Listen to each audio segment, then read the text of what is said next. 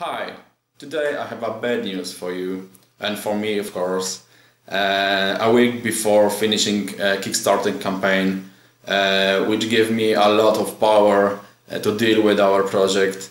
Uh, Kickstarter sent me a message that I cannot just uh, send you ERC token as you know some kind of reward for your help for for you believe in our project uh, they decide it's against uh, the, the, regulation. Uh, they decide that uh, I cannot give you any value. I can just say thank you and that's all. Maybe product, but in reality, I just can sell you product through Kickstarter uh, with some fee to Kickstarter.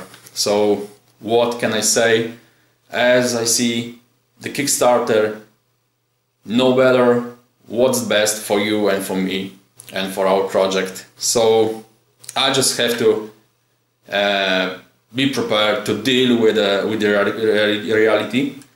I will of course get this message and made a NFT token. I will put it on the on the blockchain. Why? Because I want to share this knowledge in the future. Everyone has to know that Kickstarter have some kind of regulation and is not so you know elastic according to to being good uh, on the on, on the on the on the earth. Uh, anyway, we finished our project.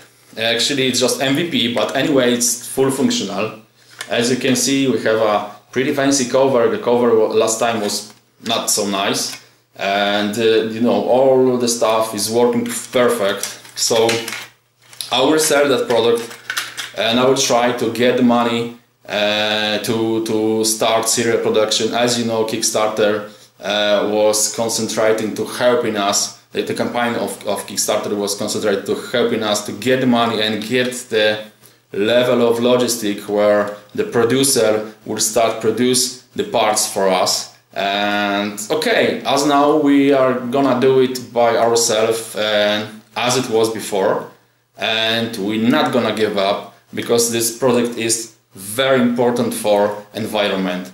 We want to reduce the pollution um, and, and the waste where the photovoltaic panels will do in the future. Less panels now, less waste in the future. And this is what we're gonna finish. Uh, so thank you all who helping us, who believe in us, and I hope we will see you soon again. Thank you.